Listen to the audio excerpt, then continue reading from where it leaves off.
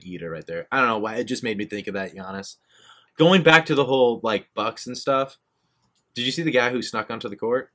Yes. Yeah, that was fantastic. Danny, pull that up. I don't have it loaded. I You didn't. How many videos did we send him? One. Mhm.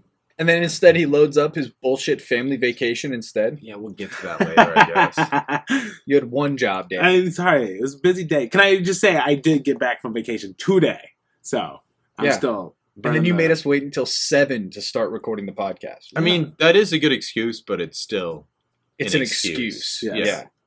I can work on it. You just gave me a few minutes. You banter. Do what you do best. No, it's too late now.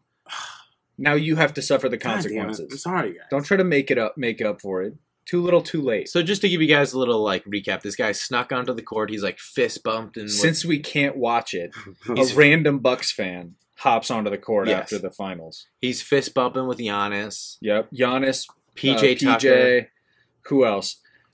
one he of the interrupts Lopez people talking to their moms. Yeah. yeah. like Uh, he sees Aaron Jones from the Green Bay Packers there. Um, it's too late. Danny. Oh, they were like they were giving him like high fives and stuff too. no, Like, definitely. Well- No, it made me think like honestly, I feel like it's one of those scenarios where you just have to make it past that first layer of security, and once you're in, you're in, right? You're in. It's, it's Yeah. what it seemed like. I would feel like it takes the perfect amount of like buzz from the game, though. Like you don't want to get up to it. you don't want to get too drunk because then you just look sloppy and like you're trying to sneak in, but you have to have that liquid courage. Right. Uh, That it's like- extra confidence Yeah. that like I belong here. yeah, that just like almost illuminates through you. I don't even give a shit about Yeah, you guys. Get out of my exactly. way. Yeah. Totally. No, he needs some of that. Uh, yeah, it's like it's probably like six shots for me, or like five to six beers throughout the game. Didn't he get so far as to party in the locker room with him? I don't know if he. I didn't see any video of him in the locker room unless that was like part two. Yeah. But I mean, that's that's iconic. Like at that point, they got to invite him onto the bus for the parade. Glue guy. Yeah, exactly. Yeah, he's the he's the He's cele- like- celebratory glue guy. yeah, he's a celebrity. He's like uh, Giannis's brother almost at that right. point. He he at least gets to share a seat with him. Yeah. uh, speaking of the parade, I mean, the bus. I don't know if you saw it. It was just flying through there. The Bucks bus was like, just yeah, like, dude, they wanted a party. Yeah, he was just like, let's get through this parade and just keep drinking. I think either that or the bus driver is like, these motherfuckers keep throwing beers at this motherfucker. Can you uh can you explain to me why they wear the the hater blockers? What? Everybody had like their Nike goggles on Yeah. after the win. Like, what's that about? Oh no, just for the champagne. Like when it's spraying and stuff, they don't want to get in the eyes and stuff. Like in the locker room, you're talking about. That's why they're wearing big ass goggles. I mean, that's the only explanation. Like that's what I always assumed when they do that. It's just when the champagne sprays. You're talking about in the locker room, right? Yeah. Yeah. Yeah. So they're wearing ski goggles.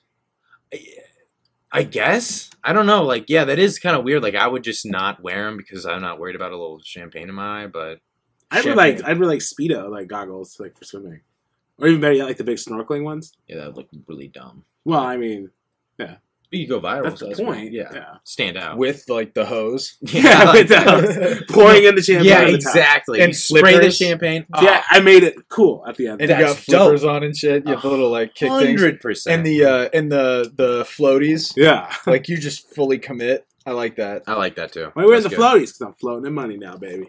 Just in case the champagne fills the room. Yeah. Just in case. There's always that little little bit of worry. I can't swim. That's your I can't swim. Just because I can't swim. But everybody did look like they were having an awesome time. Like, I mean, the after party after. Were you like, having FOMO?